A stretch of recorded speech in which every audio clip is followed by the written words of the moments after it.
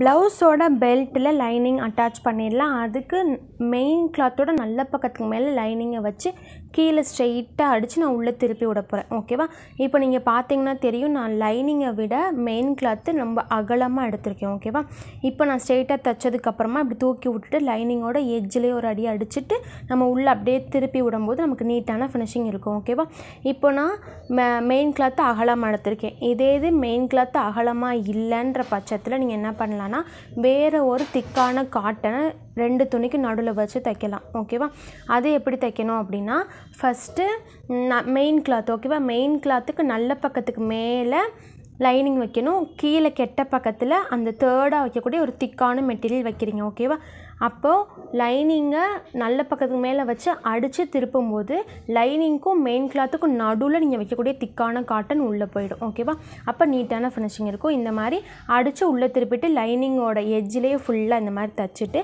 X lining போக extra இருக்கக்கூடிய இந்த மெயின் கிளாத்தெல்லாம் கட் பண்ணி எடுத்துடுறீங்க. ஏன் கட் பண்ணி எடுக்கிறோம் நம்ம லைனிங் தான் கரெக்டான அளவுக்கு நம்ம கட் பண்ணி எடுக்கிறோம்.